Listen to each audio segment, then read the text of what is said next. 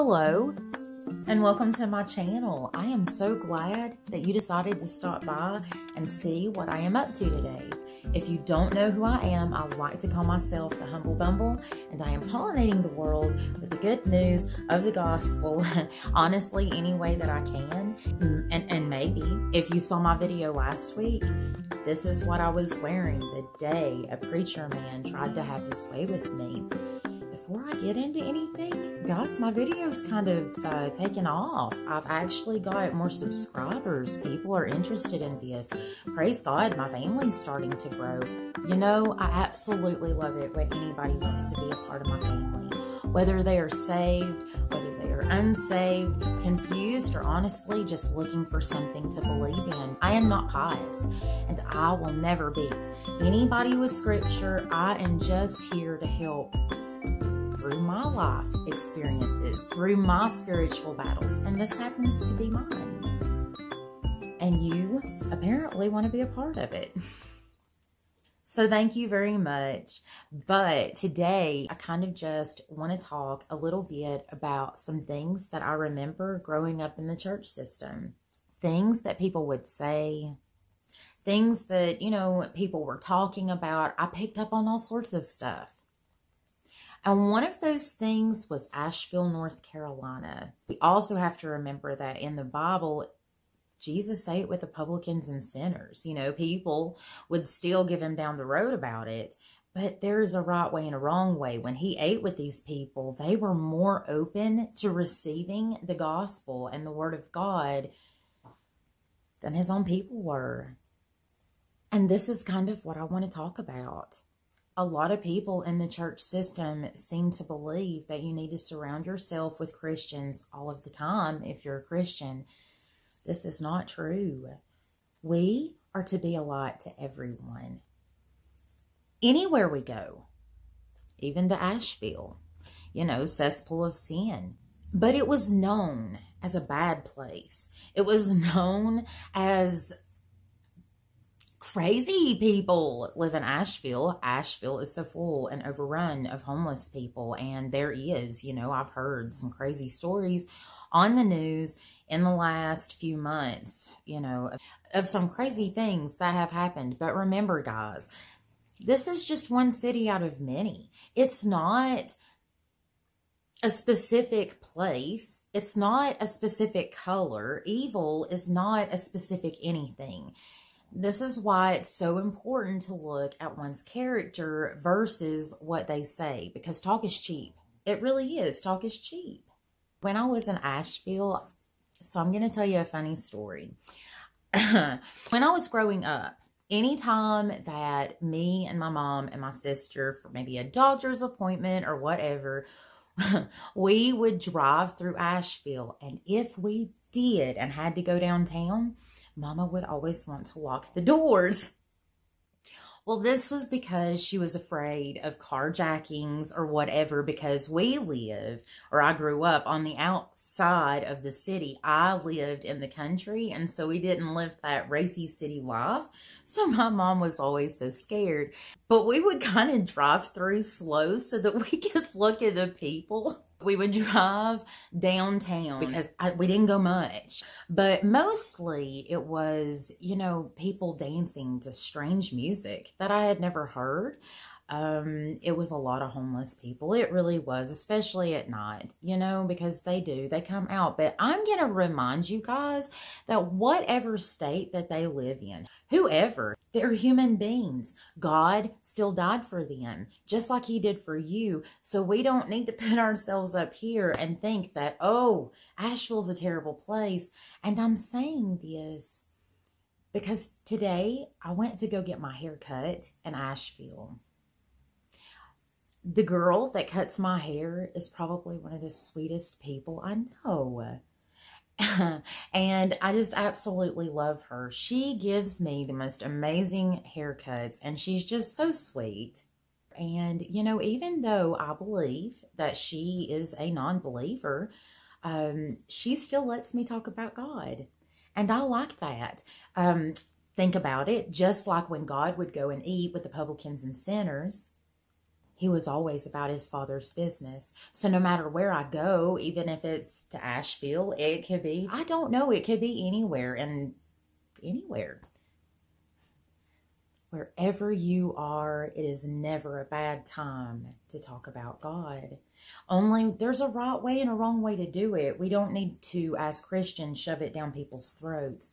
But I do know that the people that are in the church system, they have a terrible bad tendency to judge people straight away, you know, judging a book by its cover, but they are always so quick to say, Don't judge me, only God can judge me. They'll use the Bible against you because they know the scripture somewhat, or like a preacher man, he knows scripture. So if he wants to make a point or do something he ought not to do, he can use scripture. He can pervert it, he can twist it to make it say what he wants it to say or look a way that he wants it to look just to get what he wants out of it. This, my dear friends, is what we call a wolf. So, like I said, I may not have a church family right now, but believe me, as a Christian, we desire to be with people of like mind. We want to have that church family. So I know that God's going to send it to me one day. But if you think about it like a relationship, you don't jump into the first relationship just because it's the right thing to do. You wait until God sends you that right person at that right time, you know? Otherwise, you'll just end up getting divorced. And that's what happens for the most part in the world today. And that is very sad. And if, and if anybody is going through that right now, my heart goes out to you. It really, really does. I can remember people saying the most terrible things about Asheville. And I know a lot of people that live around me in the churches that I've been to haven't even really been downtown. They don't know what it looks like. So that's why I wanted to take some pictures for everybody. I wanted to show you the things that I saw when I was downtown with my son. I am so glad to have my son back. God blessed me so much not this year, but last year for Halloween, I wanted to take advantage of, uh, I guess, what it was. I don't celebrate holidays. I don't celebrate Halloween. I'll get into that later. It's a big long story, but no, I do not celebrate Halloween. You know, there was a point where I felt like I just didn't know if I could feel anything. I I just was looking to feel something, anything, and I had this urge, an idea to maybe go to a haunted house because it was I was able to do that at the time. So my husband was like, "Yeah, we'll go. I mean, if that's what you're okay with doing." And I said, "I don't know why. Maybe God will be with me and I'm supposed to learn something from it. I don't know, but for some reason I have a desire to go." Anyhow, I felt in the end it was the biggest waste of money. It really, really was. But the actors were wonderful. I mean, if you're worldly and that's what you're doing, by the world standards, they did a good job. It's just something was missing. I can remember walking into the haunted house and they had so much stuff like going on on the outside of it. They had some characters coming out and trying to scare you and stuff dressed, you know, in costumes like they typically do, but mm, I was just taking pictures for my husband, you know, he was having fun with them, whatever. But I was honestly cold and I was just ready to get into the haunted house. I was looking for something. I just didn't know what. So I'm walking into the haunted house. They let us in, and due to COVID, you know, because this was not this year, but last year, and due to COVID, we had to walk a great ways apart from any other person that was there. And so me and my husband were alone, which I guess if you like that kind of thing would be fun because it was a haunted house outside in the dark that they had legitimately set up. It was somewhere in Hendersonville. It was supposed to be a really good one. I'm not saying anything bad about the haunted house. The actors did great. You know, it's just some, there was something that was wrong with me. And I was searching for something. Again, I don't know what. So as we're walking through, there's people trying to jump out. You know, um, at one point, there's this girl and she looks dead zombie like her makeup was great. You know, again, they were good actors. But I guess I did this without even thinking about it. She started to run away, you know, like in a scary movie where you can never catch the ghost. But I started to follow her and I don't know why. And I didn't realize it until a point she was running to get away from me. And then we go to the other rooms, and you know, I mean, sure, people are jumping out at us, but if anything, I'm just saying, hey, look at you, you know, something like that. I just, I'm walking through. I'm not afraid. And then at the end of it, I remember walking out, you know, and we're going to the, you know, outside where the little shops where you can buy stuff and hot drinks and everything are at. And there was this man that came up out of nowhere and he had a chainsaw and he was chasing people with it. A lot of people hate that so bad you know, and it can be so bad, but if you are so against that, I strongly recommend that you would not take your children. But if you do take your children, there was these two little girls that was running away from this man and he was messing with someone else but they were terrified and they couldn't have been no more than 10 years old i said please will you stop for me for just a minute please they were two precious little girls looked like they might have been cheerleaders or something they were just scared to death and i said please just listen to me for a minute, will you? And they said, okay. And I said, would you believe that that man is running around? He cannot touch you by law. And not only that, but that chainsaw that he is holding doesn't even have a chain on it. It's not dangerous. So calm down. And they were all like, Are you serious? With tears running down their face. Are you telling the truth? And I was all like, Yes, Believe me, I am. And it was so convenient that at that time, he chose me. And he run up to me and he took that chainsaw and went mm. and then when he did i just stood there.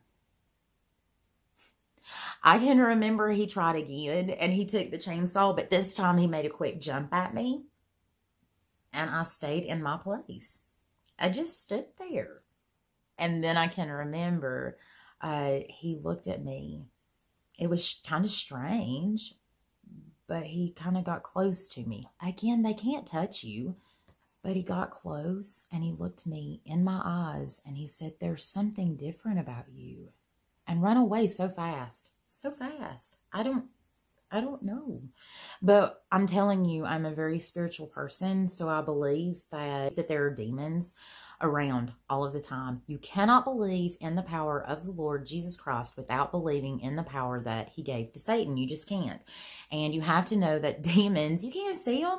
They're all around you. Oh my goodness. And they carry things that only you think you would know to somebody else. They won't tell you your future but they can make a very good guess. And if you think about it, kind of like Hannibal Lecter, I mean, Jodie Foster could just walk into the room and he could tell her things that he would have no clue about.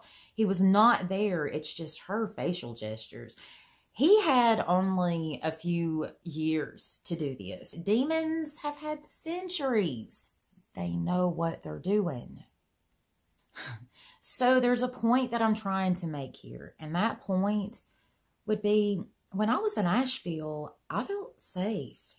You know, I am telling you, it doesn't matter where you are. You could be in your home, you could be at church, even because remember the church shootings? I'm serious. Anywhere you are, and something dangerous can happen in the place that you thought was safe. But I went to the haunted house looking for something to scare me, I guess. Nothing happened, but I did find out that I was strong I know that that comes from God. I know that that does. But I know that when I was in Asheville, I felt safe. The people were kind to me. And honestly, when you go out to eat, if you might be lucky enough, there could be a couple of people sitting next to you that will spike up a conversation with you and you can talk about the Lord but do it in a gentle way. Don't ever shove it down their throats like a broomstick. Do it in a very gentle way. And show them the love of Christ and think about what it was like when Jesus sat down and ate with the publicans and sinners. His people are the people that rejected him. The scary things are not in the haunted houses because those things are run already by the world, you know. They're not in the bars. Those people are already doing his bidding. The worst place I've ever felt in my life was in church. And that is because the devil is real. Demons can sit on the front pew. They can even stand behind the pulpit. This is his realm. He is the God of this world. But I don't know where God's leading my channel. I just know that something is happening. Something good is happening. Again, just like I said at the front of the video, I'm rapidly growing in subscribers since I posted my last video. And here in the last two days, I've managed to get nearly 200 views and they continue to come. So if you subscribe to me, I want to thank you so very much for helping me to build my family. I know that God's going to give me one and I am so happy that you get to be a part of it. So I hope that somebody learned something today, somebody growed for God. I know that at some point over the weekend, I'm going to try and do like I did last week and put up another song. I don't know what I'm going to do. Uh, if you haven't checked that out, that was me singing with a group. I just spliced my voice in it and made it seem like I was harmonizing with them because honestly, I would absolutely love to find someone who could do that for real and we could sing for real together. And I know that God's going to send that to me one day because I am not asking in vain. And this is to spread the glory of God through pollinating the world through the good news of the gospel through song. So, thank you so much for being a part of what God is doing in my ministry. I hope somebody out there grows for God, and I will be seeing you a little bit later. Check out my skit that I came out with earlier this week Silent Raffle at Church. I'm going to go ahead and let you go, but I want to let each and every one of you know that I love you, and I hope that you have a beautiful and blessed day. Please tell me why.